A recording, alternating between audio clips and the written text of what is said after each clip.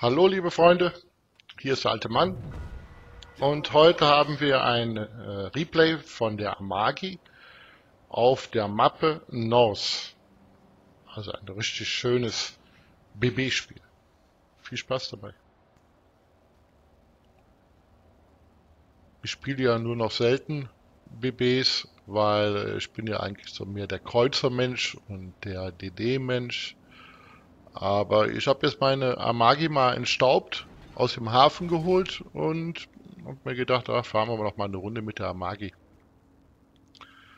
Wir sind High Tier hier und das sollte eigentlich ein gutes Spiel werden. Ich möchte mich hier links orientieren, um äh, da die linke Ecke dazu zu machen, aber meine, meine beiden äh, Kreuzer spielen da leider nicht mit. Also fahren wir da rechts rum und schauen wir mal, wie sich das alles so entwickelt. Ich habe nur T8 BBs, also ich habe noch keinen T9 oder T10 BB, das kommt irgendwann. Aber diese T8 BBs, die habe ich schon sehr lange. Also ich habe die äh, Tirpitz, die North Carolina und die Amagi, wobei die Amagi mir am besten gefällt wegen den guten Kanonen. Ja, die hat halt weniger Panzerung, aber da wo die hinschießt, da wächst normal kein Gras mehr. Wenn man trifft. Also wir bewegen uns jetzt langsam wieder zurück. Und schauen mal, ob irgendetwas gespottet wird. Bases einzunehmen gibt es nicht, aber wir müssen halt unsere Base auch verteidigen. Zwei Flugzeugträger, je Team im Spiel. Und jetzt tun mich schon die Flugzeuge spotten. Ich habe auf der Amagi einen äh, 15-Punkte-Kapitän. Äh, und äh, ich habe Tarnung drauf und also so schnell werde ich nicht gesehen. Da müssen wirklich Flugzeuge kommen oder DDs kommen, damit ich da gesehen werde.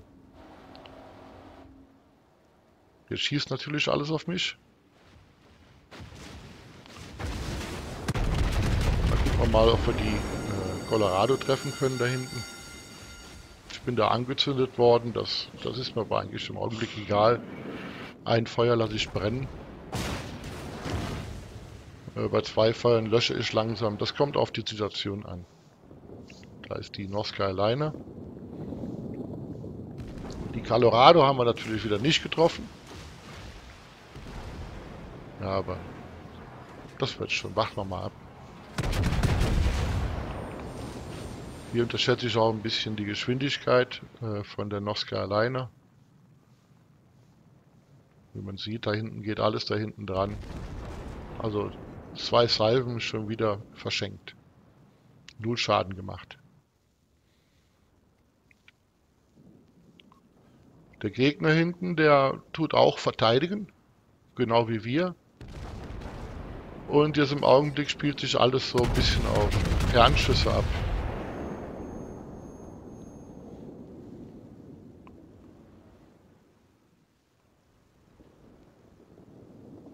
Immer noch nichts getroffen. Doch, da.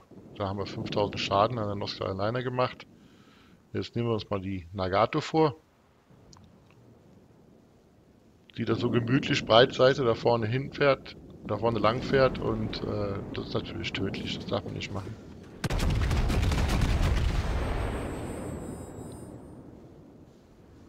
also ihr seht an, an meinem Schiff, ich tue das schön anwinkeln weil ich bin detected und wenn da was reinkommt, dann Schüsse. Da haben wir unsere erste Zitadelle und haben sein Ruder weggemacht, deaktiviert und der muss halt jetzt reparieren.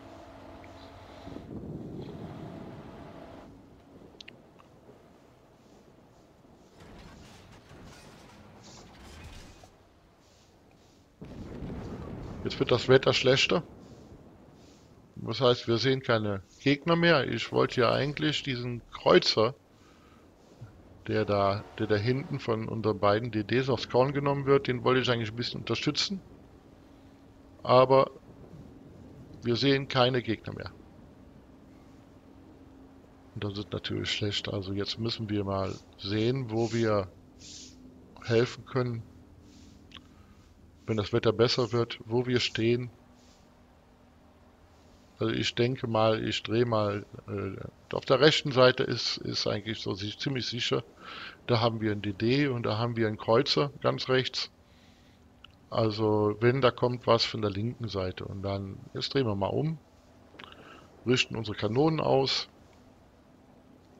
und dann äh, schauen wir weiter, was passiert.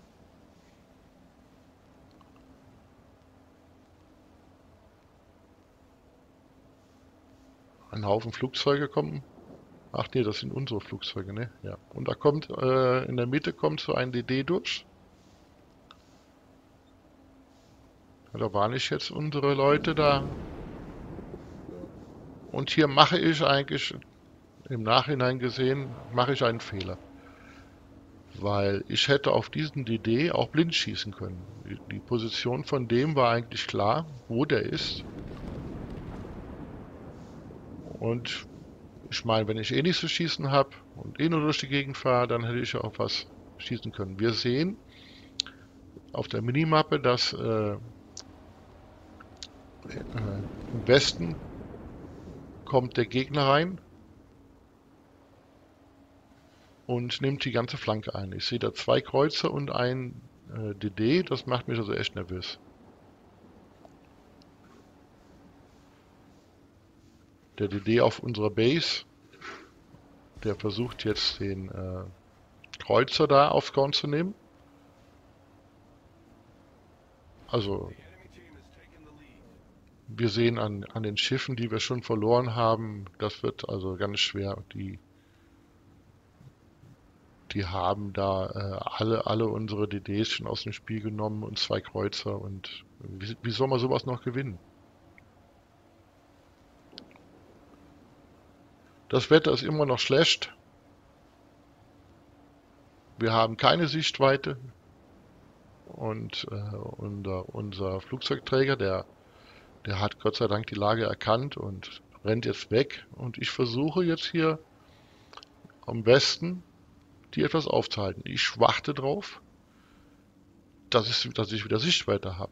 Da kommt ein äh, anderer BB durch die Gasse. Den kann ich nicht sehen, den kann ich nicht beschießen. Und wir haben auf im Westen drei Schiffe vom Gegner, die auch noch reinkommen. Und ich sehe keine Unterstützung von unserem Team, was, uns, was mir hier helfen könnte. Außer eventuell die Flugzeugträger. Ich bin ziemlich alleine. Und ich hoffe, dass ich irgendwann mal, dass das Wetter besser wird und ich wieder was sehe. Es ist immer noch schlechtes Wetter. Immer noch keine Sichtweite. Also ich finde das in diesem Modus, finde ich also, ist ja schön, dass wir was mit dem Wetter machen und äh, aber wenn das dann so lange andauert und man nicht schießen kann, dann es ganz schlimm. Also aus dem Westen dieser DD, der orientiert sich jetzt Richtung unsere Base. Und da haben wir als Verteidigung, was ist das? Das ist ein BB, ein BB, der von allen Kanten und Seiten angegriffen wird. Der kriegt es auch noch Torpedos und Bomben. Und der ist weg also. Jetzt haben wir noch na, das war kein BB, das war ein... Äh nee, der lebt ja noch. Aber ich glaube nicht, dass er noch lange lebt. Also da, der hat da viel zu viel Druck auf der Seite. Und jetzt sehe ich meine, mein Flugzeug, ich sehe die gar nicht, meine Flugzeugträger hat da äh, Flugzeuge hingeschickt und da kommt ein Kreuzer ziemlich nah an mich. Jetzt bin ich gespottet und jetzt sehe ich ihn auch auf sieben Kilometer an den Nürnberg.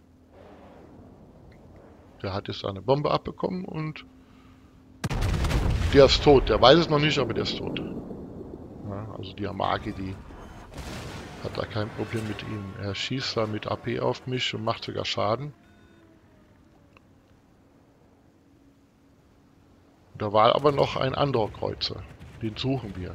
Jetzt unterstütze ich unseren Flugzeugträger da, indem ich da ein paar Flugzeuge abschieße.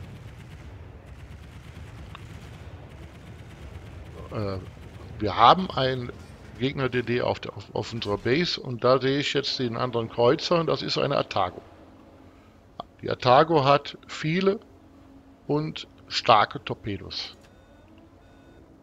Also, was der da Breitseite macht gerade, das kann ich mir lebhaft vorstellen. Also da drehen wir am besten mal ab.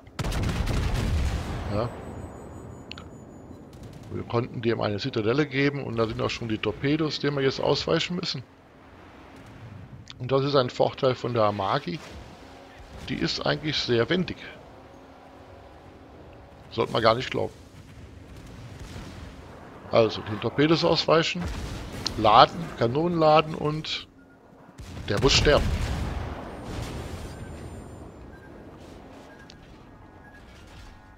Die Atago dreht jetzt ab, aber die dreht nur ab, um die Torpedos auf der anderen Seite in Position zu bringen. Also das, das ist noch nicht zu Ende. Da kommt noch mehr von ihm. So, jetzt ist er wieder verschwunden. Obwohl ein, ein immer noch schlechtes Wetter, ein Spotting-Flugzeug oder äh, vom, von uns über ihm und ich sehe ihn nicht auf 8 Kilometer. Also jetzt könnte langsam mal wieder besseres Wetter kommen, dass wir hier was sehen. Ja, ein Kreuzer von uns, der ist am Kappen. Und das hilft uns, weil solange, solange wir gekappt werden, oder solange der Gegner gekappt wird, äh, bekommt er keine Punkte. Ja, ich glaube nicht, dass der da hinten äh, zu Ende kappen kann. Aber das ist eine Hilfe. Bei uns ist jetzt nur noch unsere zwei Träger. Da ist er wieder. Die Atago. Torpedos sind schon im Wasser.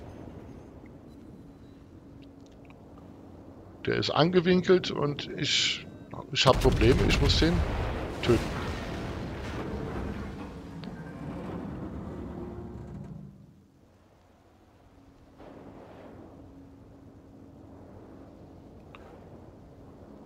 So, jetzt zeigt er mir schön die Breitseite und jetzt, jetzt ist er tot. Das weiß er noch nicht, aber er ist tot. Ich habe bei dieser ganzen Aktion kaum Schaden bekommen. Ja, ich habe jetzt mein zweites, meinen zweiten Kreuzer zerstört und ich renne jetzt zu unserer Base, weil äh, da stehen Schiffe drauf. Auf der Base. Das Wetter ist immer noch schlecht. Da kommen jetzt noch mehr Torpedos von der Matago. Den können wir ausweichen. Und da ist eine Cleveland. Meine Kanonen sind geladen, Turm in Position. Und Cleveland, ach, ich sag mal, die ist tot, ne?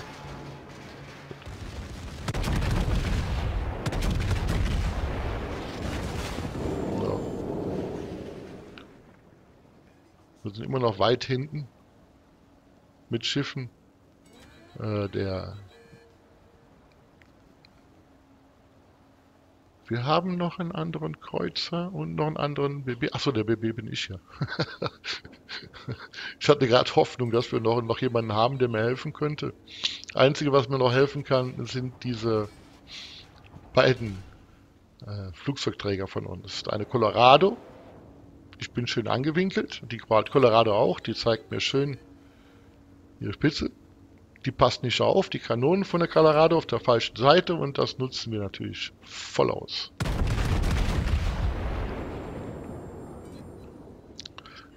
Ich hätte gerne einen Citadel gehabt, aber ich habe dem eine Kanone weggenommen und äh, das ist ja auch was wert. Ne? Das Replay zeigt das nicht richtig an mit den, also ich habe den schon selektiert für meine Sekundaries, die jetzt da wild auf ihn schießen. Da hinten ist noch eine North Carolina. Also das, das Spiel, ich weiß gar nicht, wie wir das gewinnen sollen. Unser Kreuzer ist tot. Jetzt haben wir die Zitadelle bekommen an der Colorado. Und der macht eigentlich kaum Schaden bei mir. Schießt der HE? Ja, der schießt HE auf mich. Und da sehe ich jetzt die Musuki. Und jetzt lasse ich die Colorado da links liegen. Also die interessiert mich jetzt im Augenblick nicht. Ich bin da gut angewickelt an die und die Mutsuki, die ist, das ist eigentlich mein, mein größtes Problem im Augenblick. Die Mutsuki auf drei Kilometer. Jetzt hat es schön Schaden genommen. Äh, ich ich habe die Bazooka jetzt selektiert. Wir haben High Kaliber bekommen. Und da kommen die Torpedos von der Musuki, also denen kann ich nicht alle ausweichen. Das ist zu eng. Und jetzt nehme ich drei Torpedos von der.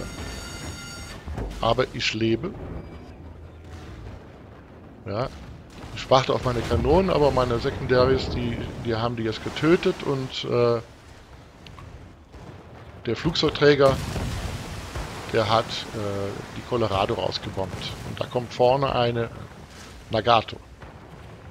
Bin ja schon froh, dass da von vorne nicht die äh, Carolina kommt. Aber lebt die überhaupt noch? Ja, die lebt noch.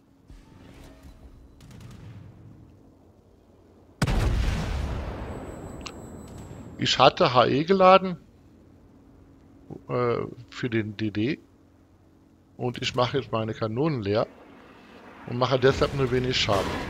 Der trifft mich gut. Ich bin fast tot. Ja, die North Carolina, die geht jetzt auf der anderen Seite rüber, kommt die rüber und also das wird schwer. Ich hoffe jetzt, dass ich die Nagato da versenken kann. Ja, natürlich nicht. Ne? Ein Turm wieder, ein Turm rausgenommen, anstatt eine Zitadelle. Und ich habe angehalten mit dem Schiff warte darauf, dass meine Kanonen laden.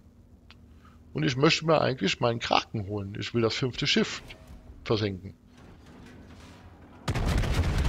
Ja. Und was passiert? Zu weit vorgehalten. Ja, 9000 Schaden gemacht, aber es hat nicht ausgereicht, um die Nagate zu versenken. Ich versuche jetzt da hinten diese Gasse reinzufahren. Und jetzt kommt zu allem Überfluss kommen auch noch Bomber und ich kann nicht ausweichen. Ich bin hier zwischen den Inseln da und äh, Torpedobomber, da sind Torpedos schon im Wasser. Und jetzt bin ich... Ah, bin ich tot. Ne, also den habe ich noch überlebt. Ein Torpedo hat mich getroffen. Jetzt kommen da oben die Torpedobomber. Und aus die Maus.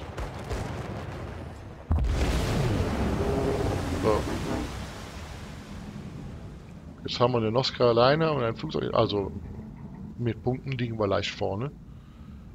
Und das könnten wir eigentlich, na, wenn die Flugzeugträger gut sind, dann könnten wir das gewinnen. Die müssen halt äh, die North Carolina aus, rausnehmen. Ich bin tot. Ich habe gemacht, was ich konnte. Und jetzt hängt alles von den Flugzeugträgern ab. Na, die haben die Carolina schon rausgenommen. Das ist ja nur noch die Nagato. Und die Nagato ist fast tot. Also, die sollen da jetzt mal Bomber hinschicken. Und die Nagato wegmachen und dann können wir das gewinnen. Punkte sind wir fast gleich. Die haben jetzt einen kleinen Vorteil, weil die am Kappen sind. Ja, und die schicken auch ihre Bomber rüber. Ja, das funktioniert schon. Das, die, der Flugzeugträger ruckelt etwas, das kommt vom Replay, das habe ich im Spiel nicht. Irgendwie, äh, was, das, das Spiel ist in einer Minute vorbei. Also, da bleibt nicht mehr viel Zeit.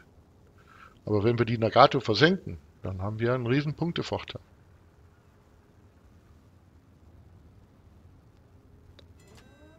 Was macht der andere Flugzeugträger da hinten? Steht er sicher. Nicht, dass der da hinten versenkt wird. Naja, 40 Sekunden noch. Also auf geht's. Versenkt die Nagato. Die hat nur noch 415. 415 Punkte. Ja, die Nagato ist weg. Wir führen in Punkten. 22 Sekunden. Und da fliegen Torpedobomber in der Nähe von, von diesem, von der Independence hier. Aber vorbei. Gewonnen. Das hätte ich jetzt nicht gedacht, dass wir das noch gewinnen.